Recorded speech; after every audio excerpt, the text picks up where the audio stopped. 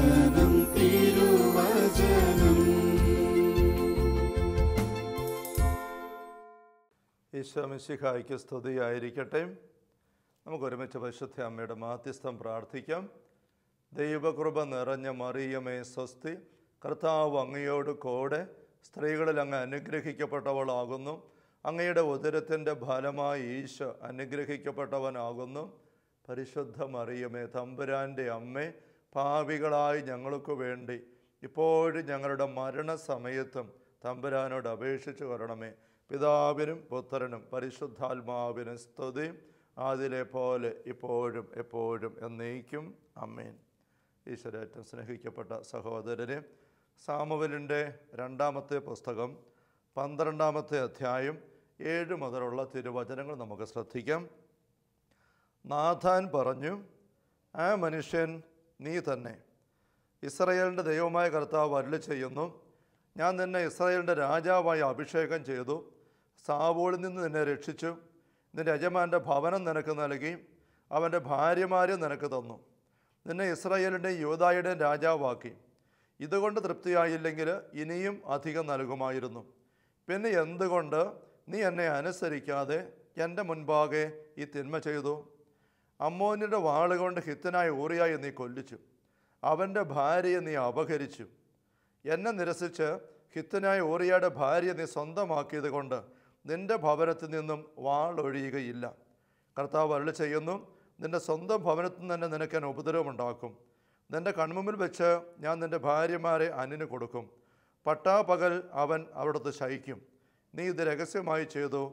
ഞാനിത് ഇസ്രായേലിന്റെ മുഴുവൻ മുൻപിൽ വെച്ച് പട്ടാപകൽ ചെയ്യിക്കും. നാഥാൻ പ്രവാചകന്റെ ഈ ശക്തമായ ശകാരം അതിന്റെ പശ്ചാത്തലം നമുക്കറിയാം. ദാവീദ് മഹാരാജാവ് ബേക്ഷബയുമായി പാപം ചെയ്യുന്നു. അവൾ ഗർഭിണിയാകുന്നു.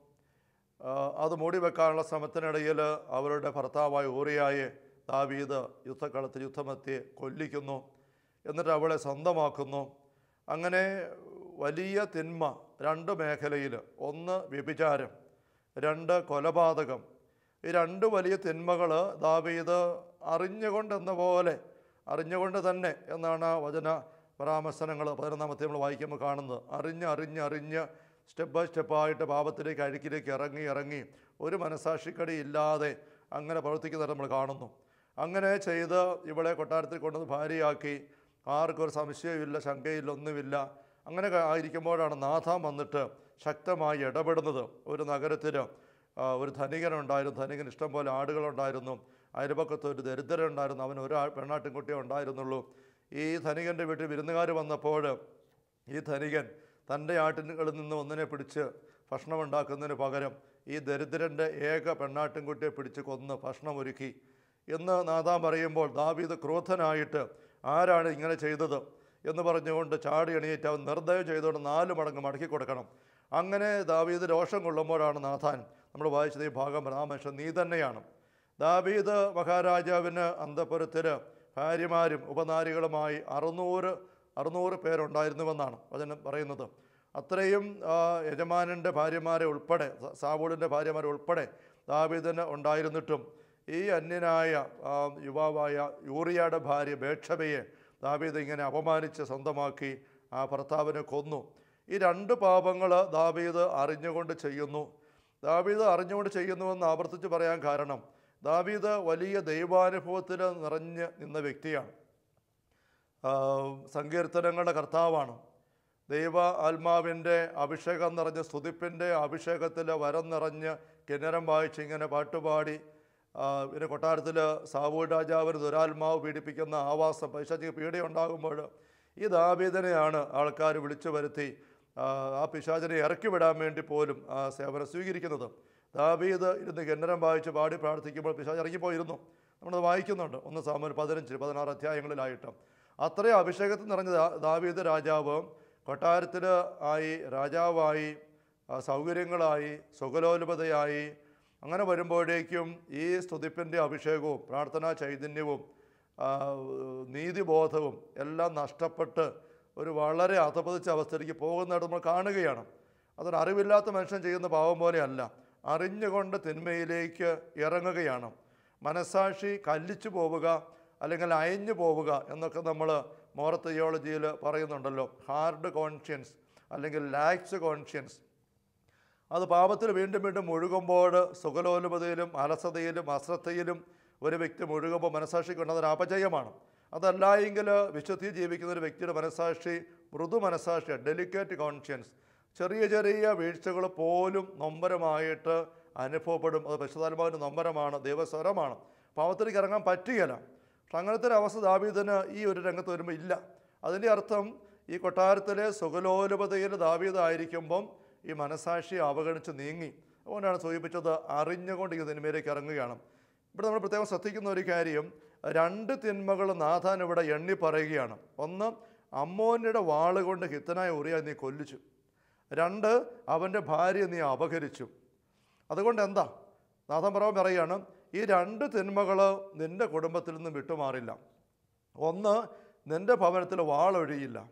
രണ്ട് ഈ ലൈംഗിക വിശുദ്ധിയുടെ കാര്യത്തിൽ വല്ലാത്ത തകർച്ച ദയനീയമായ അധപതനം നിന്റെ സ്വന്തം ഭവനത്തിൽ തന്നെ ഉണ്ടാകുന്നത് കാണും. അപ്പോൾ ഏത് രണ്ട് തിന്മകളാണോ ദാവീദ് അറിഞ്ഞുകൊണ്ടിട്ട് തകർത്ത് വെച്ചത് ആ രണ്ട് തിന്മകൾ ആ ദാവീദിന്റെ കുടുംബത്തിന്റെ ഭാഗമായിട്ട് മാറുന്നു. നമ്മളിതേപ്പറ്റി ചിന്തിക്കുമ്പോൾ നമ്മൾ ഈ വേദിയിൽ കഴിഞ്ഞ ഒരു സെഷനിൽ തൊടുപുഴ മാതാവിന്റെ കപ്പേളയുമായി ബന്ധപ്പെട്ട് ഒരു കുടുംബത്തിന് കിട്ടിയ ഒരു തലമുറകളായി കടന്നു വന്നിരുന്നൊരു വിനാശം പരിഹരിച്ച് കിട്ടുന്നൊരു അനുഭവം കാണുകയുണ്ടായി. നാല് തലമുറ മുമ്പ് ഒരു വല്യപ്പൻ ഒരു പണിക്കാരനെ ഒരു പ്രത്യേക സാഹചര്യത്തിൽ അടിച്ച് കൊന്ന് കുഴിച്ചു മൂടി ആ തൂമ്പാട് മാടുകൊണ്ട് ശങ്കനടിച്ച് അപ്പോൾ ഹൃദയത്തിന്റെ ഒരു ഒരു ഞരമ്പ് പൊട്ടി എന്ന പോലെ. അതിനുശേഷം തലമുറകളിൽ മൂന്ന് തലമുറയിൽ അതേ രീതിയിലുള്ള അനുഭവം ഉണ്ടാകുന്നു. രണ്ട് തലമുറയിലെ ആൾക്കാർ മരിച്ചു. ഈ തലമുറയിലെ ആൾ അതേ രീതി മരണാസന്നായി ആശുപത്രിയിൽ എത്തുന്നു. അവർ മാതാവിന്റെ കപ്പേളയിൽ പ്രാർത്ഥിക്കാൻ വരുന്നവരായിരുന്നത് കൊണ്ട് പ്രാർത്ഥനയിൽ ഇക്കാര്യം വെച്ച് മാതാവിന് നിർദ്ദേശം കിട്ടുന്നു. ഈ പൂർവികരുടെ തിന്മയ്ക്ക് വേണ്ടി പരിഹാരം അനുഷ്ഠിച്ച് പ്രത്യേകിച്ച് കരുണക്കൊന്ന് ചൊല്ലി പ്രാർത്ഥിക്കണം. അങ്ങനെ ചെയ്തപ്പോൾ വിടുതൽ കിട്ടി. അപ്പോൾ അതേപറ്റി ചിന്തിച്ചപ്പോൾ നമ്മൾ സൂചിപ്പിക്കുകയുണ്ടായി ഇത്ര കർക്കശമായിട്ട് കൃത്യമായിട്ട് കൃത്യമായിട്ട് ഒരു പൂർവിക തലത്തിൽ സംഭവിച്ച ഒരു പ്രവൃത്തി മക്കളിലേക്ക് കൊച്ചുമക്കളിലേക്ക് ഇങ്ങനെ പകർന്നു വരാൻ സാധിക്കുമോ? ആ ഒരു വിചിതരം നമ്മൾ ചാഴപ്പെട്ടെടുക്കുകയാണ് അപ്പോൾ ഇവിടെ നമ്മൾ ഈശോയുടെ തന്നെ വംശാവലിയിലെ ഈശോയുടെ തലമുറകൾ മുൻ തലമുറയിലേക്ക് നോക്കിയിട്ട് ഈ ദാവിതന്റെ കാലഘട്ടത്തെ കാണുകയാണ്. ഇവിടെ ഈ ദാവീദിന്റെ കുടുംബത്തിൽ ദാവീദ് ഇങ്ങനെ സംഭവം ചെയ്തു പ്രവൃത്തി ചെയ്തു. ഇതിന് മുൻപും പിൻപുമുള്ള അവസ്ഥ എന്താണെന്ന് നമ്മൾ ശ്രദ്ധിക്കുന്നത് നല്ലതാണ്. ഇവിടെ നമ്മൾ ഒരു കാര്യം ഇപ്പോൾ ശ്രദ്ധിക്കുന്നത് ഈ ലൈംഗിക വിശുദ്ധിയുടെ കാര്യം. ദാവീദിന്റെ അപ്പൻ ജസയാണ് ജസയുടെ പിതാവിന്റെ പേര് ഓബദ്. ഓബദിന്റെ അപ്പനും അമ്മയും ബോവാസും റൂത്തുമാണ്. ബൈബിളിൽ റൂത്ത് എന്ന പേരൊരു പുസ്തകമുണ്ട്. നാല് അധ്യായങ്ങൾ മാത്രം ചെറിയൊരു പുസ്തകം മനോഹരമായ ഒരു ചെറുകഥ പോലെ വായിച്ചു പോകാവുന്നത്. അതിലാണ് നമ്മൾ ഈ ബോവാസന രൂപത്തിനെ കാണുന്നത്. എന്ന് വെച്ചാൽ ദാബീദന്റെ നാല് തലമുറ മുകളിലുള്ള വല്യപ്പനും വല്യമ്മയുമാണ്. അവരെ പിന്നെ നമ്മൾ ശ്രദ്ധിക്കുമ്പോൾ ഈ റൂത്ത് മൊവാബിയായ ഒരു സ്ത്രീയാണ്. ബദ്രഹിം എന്നുള്ള എലിമലേക്ക് എന്ന പേരായ ഒരു മനുഷ്യൻ ഇങ്ങനെ മൊബാബിൽ ഇവിടെ പഞ്ഞം പട്ടിണി വന്നപ്പോൾ കൊടിയേറി പാർത്ത്. അവിടെ വെച്ച് അദ്ദേഹത്തിന്റെ ഒരു മകൻ വിവാഹം ചെയ്ത ഒരു മൊബാബ് പെൺകുട്ടിയാണ് റൂത്ത്. പക്ഷെ പിന്നീട് ആ കുടുംബനാഥൻ എലിമലേക്കും ഈ മകനും മരിച്ചു വേറൊരു മകൻ അവനും മരിച്ചു. അങ്ങനെ മൂന്ന് വിധവകൾ മാത്രം അവശേഷിച്ച കുടുംബം തിരിച്ച് ബദലഹിമിലേക്ക് വരാൻ ഒരുങ്ങുമ്പോൾ അമ്മയായ വിധവയായ നവോമി ഈ മക്ക മരുമക്കളെ പറഞ്ഞു വിടാൻ നോക്കി. ഒരു മരുമകൾ ഓർഫ പിരിഞ്ഞു പോയി രണ്ടാമത്തെ മരുമകൾ റൂത്ത് പറഞ്ഞു അമ്മായിമ്മ പിരിഞ്ഞു പോവില്ല. ഞാൻ അമ്മായിമ്മയോട് തന്നെ ജീവിക്കും. എനിക്ക് ഭർത്താവില്ല മക്കളില്ല എന്റെ നാട് ജനത വേറെയാണ്. എങ്കിൽ പോലും ഈ അമ്മയെ ഒറ്റയ്ക്കായി വിടാൻ എനിക്ക് പറ്റത്തില്ല. അങ്ങനെ നന്മ നിറഞ്ഞ ഒരു സ്ത്രീ റൂത്ത് അങ്ങനെ അമ്മായിമ്മയുടെ കൂടെ വന്ന് ഇങ്ങനെ ബദ്രഹീൻ താമസം ആരംഭിക്കുന്ന രംഗം നമ്മൾ കാണുന്നുണ്ട്. അങ്ങനെ വരുമ്പോൾ ജീവിക്കാൻ മാർഗമില്ല അപ്പോൾ ഒരു കാലാപിറക്കാനായിട്ട് ഈ റൂത്ത് പോകുന്നു. ബോവാസ് എന്ന് പറഞ്ഞ് ധനികന്റെ വയലിൽ ചെല്ലുന്നു കാലാപിറക്കുന്നു. ബോവാസ് ഇത് ഇവളെ പറ്റി മനസ്സിലാക്കി കഴിയുമ്പോൾ അവളെ അനുവദിക്കുന്നു. എല്ലാ സൗകര്യം ചെയ്തു കൊടുക്കുന്നു. അങ്ങനെ ബോവാസിന്റെ ജോലിക്കാരുടെ കൂടെ നടന്നുകൊണ്ട് ഈ റൂത്ത് കാലാ പെറുക്കി ബാരൽ പെറുക്കി കൊണ്ടുപോയി വീട്ടിൽ കൊണ്ട് ഭക്ഷണം ഉണ്ടാക്കി കഴിച്ച് അങ്ങനെ അമ്മായിമ്മ പോറ്റുകയാണ്. അങ്ങനെ നീങ്ങുമ്പോൾ മൂന്നാമത്തെ എത്തി വരുമ്പോൾ നമുക്ക് കാണാൻ പറ്റും ഈ നവമി ചിന്തിക്കുകയാണ് ഈ മരുമകൾക്കൊരു ഭാവിയില്ലല്ലോ. ഭർത്താവില്ല മക്കളില്ല തനിക്ക് പ്രായമായി അന്യ നാട്ടുകാരിയാണ് അവരുടെ ഭാവി അങ്ങനെ ഉറപ്പാക്കാം. അപ്പോൾ മോശം നൽകിയിരിക്കുന്ന ഒരു നിർദ്ദേശം ഇസ്രായേൽക്കാർക്കുണ്ട്. ഒരു ഇസ്രായേൽക്കാരൻ മക്കളില്ലാതെ മരിച്ചാൽ വിധവയായ ആ സ്ത്രീയെ ആ മരിച്ചയാളിന്റെ ഏറ്റവും അടുത്ത ബന്ധുക്കൾ ആരെങ്കിലും ഏറ്റവും അടുത്ത ബന്ധു ഭാര്യയായിട്ട് സ്വീകരിച്ച് കുഞ്ഞുങ്ങളുണ്ടാവണം. ബോവാസ് കുടുംബ ബന്ധുവാണ് നന്മ കാണിക്കുന്നുണ്ട്. അപ്പോൾ നവമി വിചാരിച്ചു ഈ ബോവാസിന്റെ പക്കലേക്ക് ഇവിടെ ഒന്ന് പറഞ്ഞു വിട്ടാൽ ബോവാസ് അവളെ സ്വീകരിച്ചാൽ ഒരു കുഞ്ഞുണ്ടായാൽ കുടുംബം മുന്നോട്ട് തെളിഞ്ഞു വരുമല്ലോ. അങ്ങനെ നവമി പറഞ്ഞു അത് ഇവിടെ അനുസരിച്ച് പോവുകയാണ്. അങ്ങനെ ബാർലി പാറ്റാൻ വേണ്ടി മെതുക്കളത്തിൽ ബോവാസ് ഉണ്ടായിരിക്കുന്ന ഒരു ദിവസം നവോമി മരുമകളെ അണിയിച്ചൊരുക്കി ആ മെതുക്കളത്തിലേക്ക് സന്ധ്യാസമയത്ത് വിട്ടു. എന്നിട്ട് പറഞ്ഞു അവൻ ഭക്ഷിക്കുന്നത് ഭക്ഷിച്ച് മാനം അത്താഴം കഴിച്ച് കഴിയുന്നവരെ നീ മാറി നിൽക്കണം. ആരും നിന്നെ കാണരുത്. അവൻ കടന്ന് ഉറങ്ങിക്കഴിയുമ്പോൾ ആരും അറിയാതെ നീ ചെന്ന് അവന്റെ കാലിൽ നിന്ന് പുതപ്പ് മാറ്റിയിട്ട് അവന്റെ കൂടെ കിടക്കുക. അവൻ നിന്നോട് ആരാ ചോദിക്കുമ്പോൾ നീ പറയണം അങ്ങന്റെ അടുത്ത ബന്ധുവാകയാൽ അങ്ങയുടെ വസ്ത്രം എന്റെ മേൽ വിരിച്ച് എന്നെ സ്വീകരിക്കണം. ഉപവാസത്തിന് മനസ്സിലാകും മോശയുടെ അനുശാസനമാണ് എന്ന്. അങ്ങനെ അവൻ നിന്നെ അവൻ നിന്നെ പ്രാപിക്കട്ടെ. നിനക്കൊരു കുഞ്ഞുണ്ടാവട്ടെ. അങ്ങനെ റൂത്ത് ചെന്നു. ബോവാസിന്റെ പുതപ്പിന് കീഴിൽ ഇങ്ങനെ കയറി കടന്നു. ബോവാസ് അർദ്ധരാത്രി ജെട്ടി അണിയിക്കുന്നുണ്ട് അപ്പോൾ ചോദിക്കുമ്പോൾ ബോവ റൂത്ത് ഇങ്ങനെ മറുപടി പറഞ്ഞു. ബോവാസ് അത് അവളോട് പറയുകയാണ് മോളെ നീ പറഞ്ഞ കാര്യം ശരി ഞാൻ അടുത്ത ബന്ധുവാണ്. പക്ഷേ എന്നേക്കാൾ അടുപ്പമുള്ള മറ്റൊരു ബന്ധു നിങ്ങളുടെ കുടുംബത്തിനുണ്ട്. അവിടെ മോശയുടെ അനുശാസനം കൃത്യമായിട്ട് അനുസരിക്കുമ്പോൾ അദ്ദേഹത്തിന്റെ ചുമതലയാണ്. ഉത്തരവാദിത്വമാണ് അവകാശമാണ് നിന്നെ സ്വീകരിക്കുക എന്നുള്ളത്. അതുകൊണ്ട് ഇപ്പോൾ നീ ഇവിടെ കിടക്കുക. രാവിലെ ഞാൻ അവയെ അയാളെ സംസാരിച്ചിട്ട് പ്രതിവിധി ഉണ്ടാക്കാം. അങ്ങനെ ബോവാസ് അവിടെ തന്റെ പുതപ്പിന്റെ കീഴിൽ കിടത്തി ആ മെതിക്കളത്തിൽ രാത്രിയിൽ ഉറക്കി രാവിലെ എണീപ്പിച്ച് നേരം വെളുക്കുന്നതിന് മുമ്പ് ഇരുട്ട് മാറുന്നതിന് മുമ്പ് കുറച്ച് ബാർലി അവിടെ ബാർലിയും അവിടെ കൈ കൊടുത്ത് വീട്ടിലേക്ക് വേഗം വിടുകയാണ്. ആർക്കും ഒരു അസ്വസ്ഥ ഉണ്ടാക്കാതെ. പിന്നീട് ബോവാസ് പിറ്റേ ദിവസം രാവിലെ ആ, ബദ്രഹമിലെ നഗരത്തിൽ ചെന്ന് ഈ മനുഷ്യനെ അടുത്ത ബന്ധുവിനെ കണ്ടുപിടിക്കുന്നു ശ്രേഷ്ഠന്മാരെ വിളിക്കുന്നു കാര്യം സംസാരിക്കുന്നു. അപ്പോൾ ആ മനുഷ്യൻ പറഞ്ഞു എനിക്ക് അവളെ സ്വീകരിക്കാൻ നിവൃത്തിയില്ല. ഈ ബുദ്ധിമുട്ടാണ്. അപ്പോൾ ബോവാസ് പറഞ്ഞു അങ്ങനെയെങ്കിൽ ഞാൻ അവളെ സ്വീകരിക്കുകയാണ്. മോശയുടെ അനുശാസനം അനുസരിച്ച്. അങ്ങനെയാണ് ബോവാസ് റൂത്തനെ സ്വീകരിക്കുന്ന ഭാര്യയായിട്ട് അങ്ങനെയാണ് ഓബദ് എന്ന കുഞ്ഞുണ്ടാകുന്നത്. ആ ഓബദിന്റെ മകൻ ജെസ്സെ ജെസ്സയുടെ മകൻ ദാവീദ്. ഈ സംഭവം ഇങ്ങനെ പറയുന്നത് തലമുറകളിലേക്ക് നോക്കാൻ വേണ്ടിയിട്ടാണ്. അപ്പോൾ ദാവീദിന്റെ നാല് തലമുറ മുകളിൽ നമ്മൾ കാണുന്നത് ഈ ബോവാസനും റൂത്തനെയാണ്. അവരുടെ ജീവിത വിശുദ്ധി എന്ന് പറയുന്ന അസാമാന്യമാണ്. രാത്രി പണിയും കഴിഞ്ഞ് ഭാരിച്ച് മടുത്ത് തടന്നു കടന്നുറങ്ങുന്ന ബോബാസിന്റെ പുതപ്പിന്റെ കീഴെ ഈ യുവതി വന്ന് കയറി കടന്നിട്ട് തന്നെ പ്രാപിക്കണം എന്ന് അമ്മായിമ്മ പറഞ്ഞനുസരിച്ച് ആവശ്യപ്പെടുമ്പോൾ അതൊരു വഴങ്ങി കൊടുത്തു പോകാനുള്ള എല്ലാ സാഹചര്യമാണ് അവിടെ ഉള്ളത്. പക്ഷെ ബോബാസിന്റെ ഉള്ളിലെ ദൈവിക ചിന്ത ചിട്ട അത്ര ഉന്നതമായതുകൊണ്ട് മോശയുടെ അനുശാസനം കൃത്യം പാലിക്കാൻ വേണ്ടി ബോബാസ് പറയുകയാണ് മോളെ ഇപ്പം നിന്നെ ഞാൻ ആ രീതിയിൽ പ്രാപിക്കുകയില്ല. നീ ഒരു മോളെ പോലെ ഇവിടെ കിടന്ന് ഉറങ്ങിക്കൊള്ളുക നമുക്ക് അങ്ങനെ ആ റൂത്തിനെ കൊടുത്തി കിടത്തി ഉറക്കിയിട്ട് രാവിലെ വീട്ടിലേക്ക് പറഞ്ഞു വിടുന്ന ബോബാസിനെ ശ്രദ്ധിക്കുമ്പോൾ യേശു പിതാവിനെയും മാതാവിനെയും നമുക്ക് ഓർമ്മ വരുന്നത്. അതുപോലെയുള്ള അസാമാന്യമായ ഒരു ജീവിത വിശുദ്ധിയുടെയും ആത്മസംയമനത്തിന്റെയും നീതിബോധത്തിന്റെയും വചന ചിട്ടയുടെ എല്ലാം നിറവ് നമ്മൾ ആ കുടുംബത്തിൽ കാണുകയാണ്. ആ കുടുംബത്തിന്റെ നന്മയാണ് പിന്നെ ഓപതിരിക്ക് പകർന്നു കിട്ടി ജസേരിക്ക് പകർന്നു കിട്ടി. ദാതിനെക്കുറിച്ച് സൂചിപ്പിക്കുകയുണ്ടായി ദൈവ ചൈതന്യം നിറഞ്ഞ് കർത്താവിന്റെ ആത്മാവ് കൂടെ ഉണ്ടായി നിരന്തരം കീർത്തനം പാടി സ്തുതിച്ചുകൊണ്ട് നടക്കുന്ന ഒരു വിശുദ്ധനായ യുവാവ്. അങ്ങനെ ആരും ദാവീദ്. ആ ദാവീദാണ് ഈ പറഞ്ഞ അവസ്ഥയിൽ പാപത്തിലേക്ക് പോകാൻ പേഷബീയമായി തിന്മ ചെയ്യാൻ ഇടവരുന്നത്. അത് കഴിഞ്ഞ കുടുംബത്തിന്റെ അവസ്ഥ എന്താണ്? നമ്മൾ അതിലേക്ക് വരുമ്പോൾ രണ്ട് സാമൂഹ്യൽ പതിമൂന്നാമത്തെ അധ്യായത്തിലേക്ക് വരുമ്പോൾ കാണുന്നത് ദാബീദിന് ഒരു ഭാര്യയിലുള്ള മകനാണ് അമ്നോൻ. വേറൊരു ഭാര്യയിലുള്ള മകളാണ് താമാർ. താമാറും അബ്സുറമും ഒരമ്മയിൽ തന്നെയുള്ള മക്കളാണ്. ഈ അമ്നോന് ഈ താമാറിനോട് മോശമായ ആഗ്രഹം കയറിയിട്ട് അവളെ പ്രാപിക്കാൻ ആഗ്രഹിക്കുന്നു. രണ്ട് സാമൂഹ്യ പതിമൂന്ന് നമുക്കത് കാണാം. അങ്ങനെ അത് സ്വന്തം പെങ്ങൾ തന്നെയാണ്. പക്ഷെ അവന് നിയന്ത്രിക്കാൻ പറ്റുന്നില്ല. അവളെ എങ്ങനെയും പ്രാപിക്കണം. അങ്ങനെ അവൻ നടക്കുമ്പോൾ ഒരു ചീത്ത കൂട്ടുകാരനുണ്ട് യോനാദാവ് അവനൊരു വഴി പറഞ്ഞു കൊടുക്കുകയാണ് നീ സുഖമില്ലെന്ന് പറഞ്ഞ് കയറി കിടക്ക്. അപ്പം നിന്നെ അന്വേഷിക്കുമ്പോൾ ഞാൻ പറഞ്ഞോളാം നീ കയറി കിടപ്പാടോ സുഖമില്ലാത്ത. അപ്പം നിന്നെ കാണാൻ വരും. അപ്പം ദാവീദ് കാണാൻ വരുമ്പോൾ നീ ഭക്ഷിക്കാൻ നിർബന്ധിക്കും. അപ്പോൾ നീ പറയണം ഒന്നും ഭക്ഷിക്കാൻ രുചിയില്ല. നിർബന്ധമാണെങ്കിലോ അങ്ങനെ നിർബന്ധിക്കുമോ നീ പറഞ്ഞ ഒരു അട കിട്ടിയാൽ കൊള്ളാം. ആ അട ഏതാണ്? താമാർ എന്നാണ് ഉണ്ടാക്കിയ അടയാണ്. ആ അട വേണേൽ കഴിക്കാൻ ഇഷ്ടം തോന്നുന്നുണ്ട്.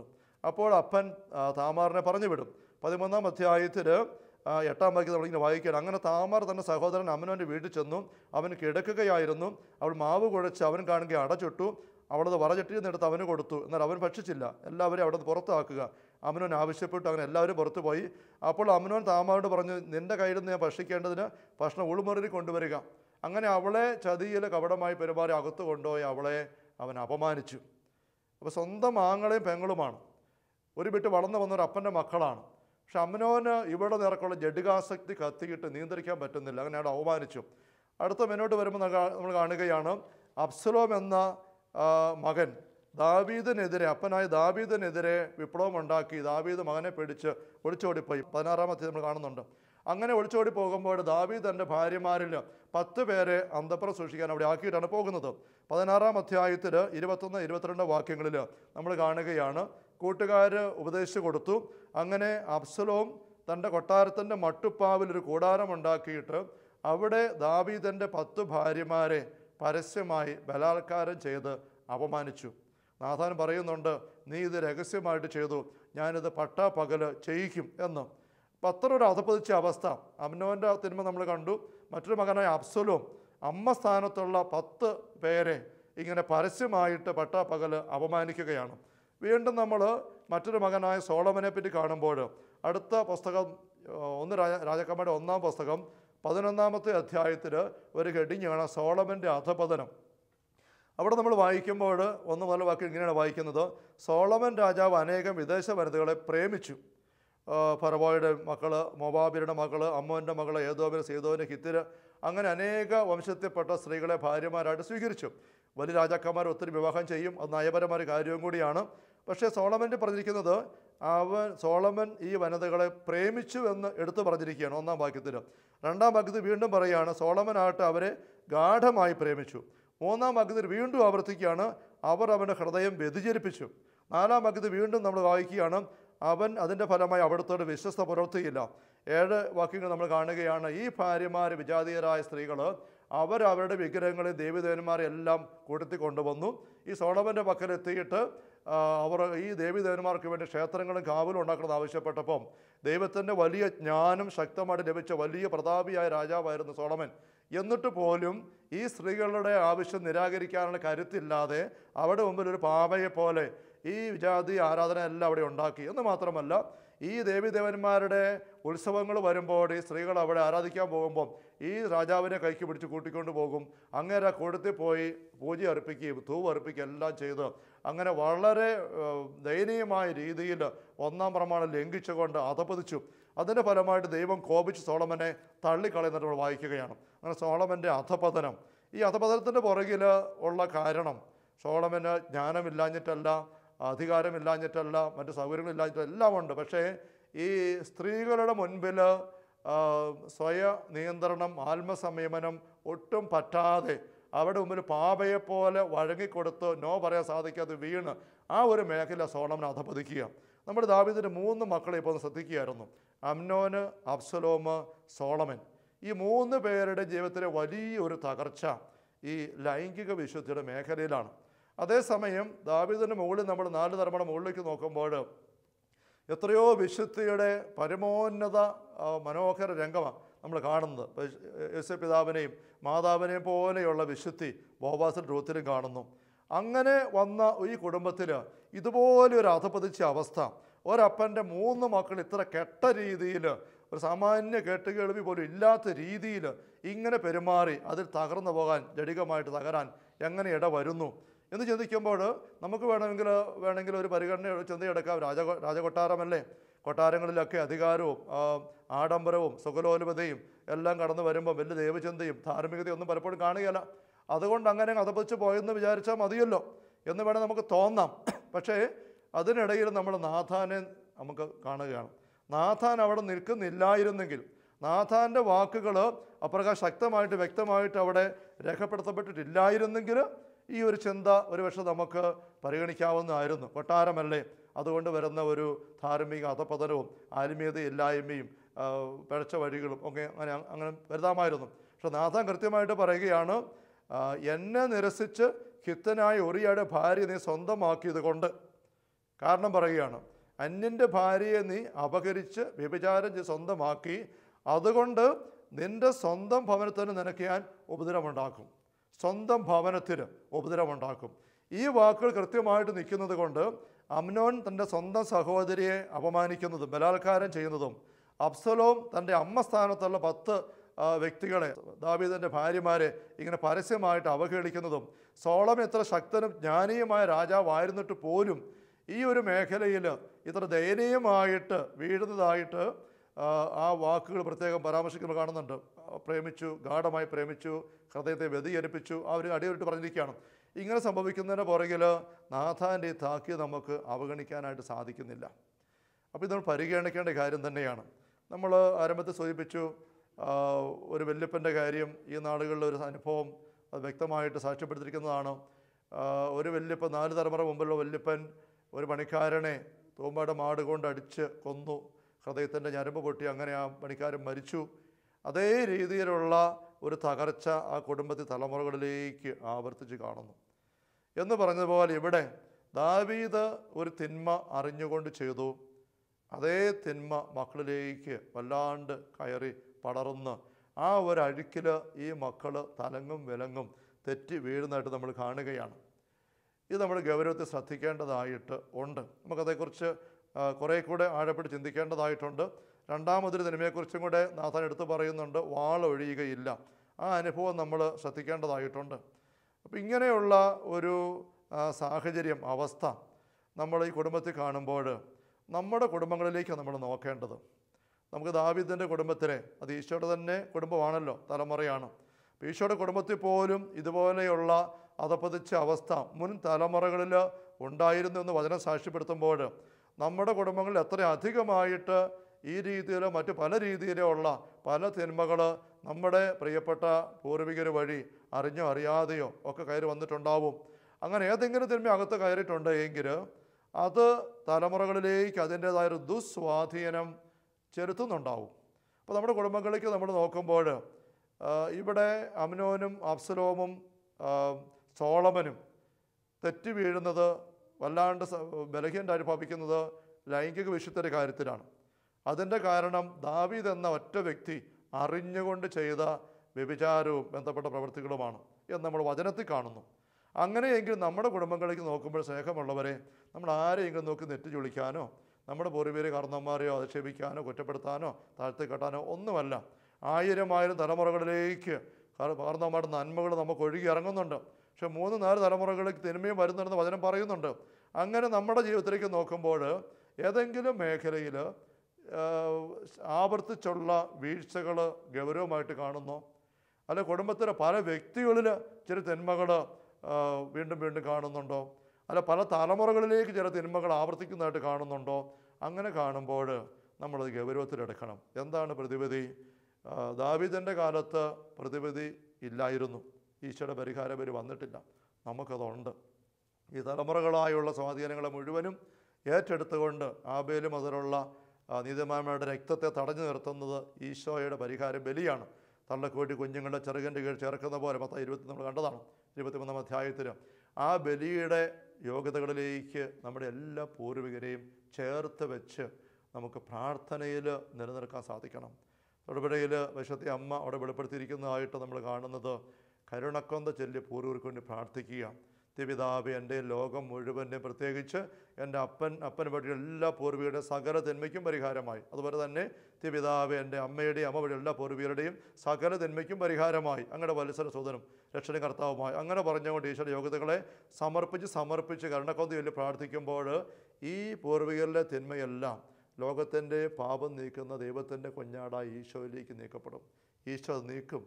നമ്മുടെ തലമുറകൾ വിശുദ്ധീകരിക്കപ്പെടും.